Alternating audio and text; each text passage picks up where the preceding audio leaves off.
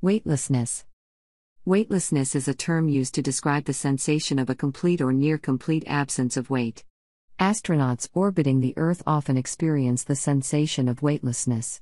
These sensations experienced by the orbiting astronauts are the same sensations experienced by anyone who has been temporarily suspended above the seat on an amusement park ride. The causes of the sensation of weightlessness in both these cases are the same. Why do we feel weightless?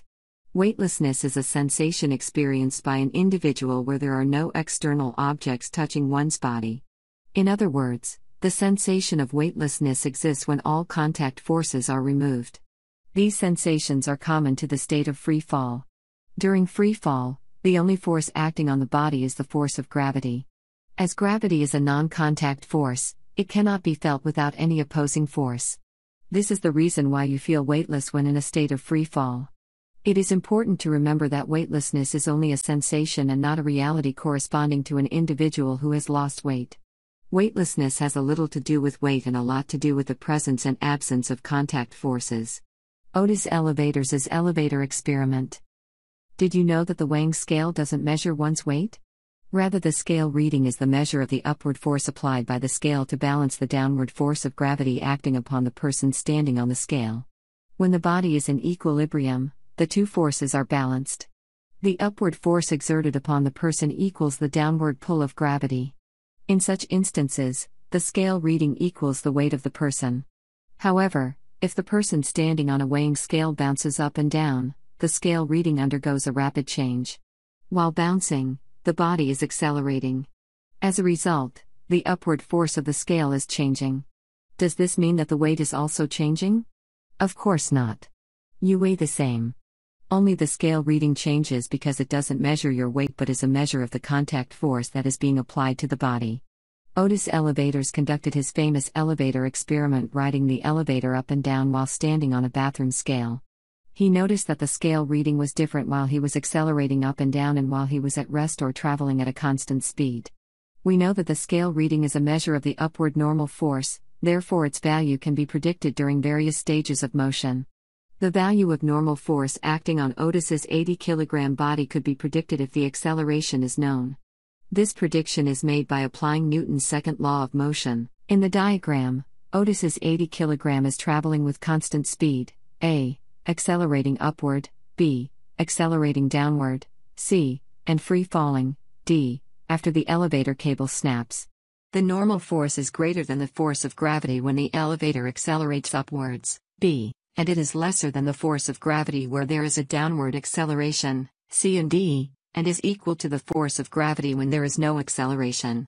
Since the normal is responsible for the sensation of weight, the elevator rider would feel his normal weight in case A, slightly heavier in case B, and less than his normal weight in case C. In case D, the rider would feel weightless, without an external force acting on him, he would feel no sensation of weight. Concluding, we can say that the rider weighs the same in all four cases, yet the sensation of weight felt by him is different. The sensation of weight felt by the rider fluctuates throughout the ride. Why do astronauts feel weightless in space? Astronauts orbiting in space feel a sense of weightlessness because there is no external contact force in space pushing or pulling upon their bodies. Gravity is the only force acting upon their body. Gravity being in action at a distance, force cannot be felt and therefore would not provide any sensation of weight. Do astronauts experience weightlessness because there is no force of gravity in space? Many students are under the assumption that astronauts feel weightlessness because there is no force of gravity in space. This is not true. If it were true, then it would violate the circular motion principles.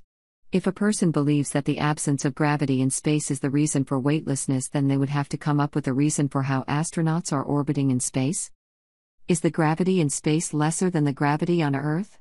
The force of gravity acting on the astronaut in space is certainly lesser than the gravity on Earth's surface. But it is not small enough to account for a drastic reduction in weight.